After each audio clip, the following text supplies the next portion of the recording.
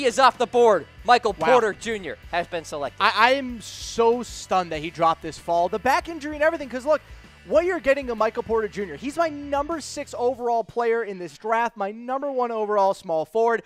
B E A beautiful jump shot. At 6'11, 210, the, the ability that this guy has to shoot is unbelievable. Off the dribble, catch and shoot, anything that you guys need this to do in terms of a shooter, he can do it. Not to mention the amount of confidence that this guy has in his jump shot is Steph Curry esque. He never believes that he's cold. He always thinks that he can get hot at any time. He's an excellent finisher around the rim as well. Smart player on offense. High basketball IQ, always knows where he needs to be.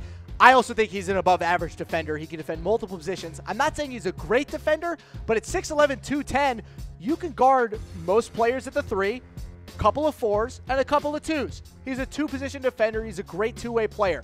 But the number one weakness back injuries plus yep. sports equals bad news. I think it will end up being the biggest holdback to his NBA success is the fact that he will be an injury prone player throughout his entire career.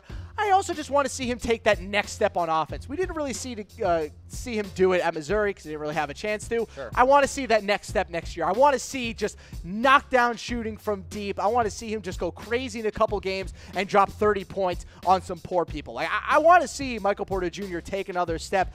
Shot selection's weird. He's not a great ball handler, but again, I'm worried about the health and I'm worried about his physicality as an NBA player. He's 6'11, 210. He should be able to go through people, not always look to shoot over them. All right, there you go, Harris. Michael Porter Jr. off the board going to the Denver Nuggets.